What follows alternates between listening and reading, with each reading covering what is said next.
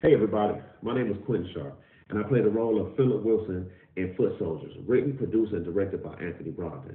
Listen, when I tell you this movie takes you on an emotional roller coaster ride, look, when you see this movie come out, the trailer everything, you gotta go check us out. It's a phenomenal cast, written very well, man, and we're gonna set the theaters on fire. Trust me when I tell you. So be on the lookout for Foot Soldiers.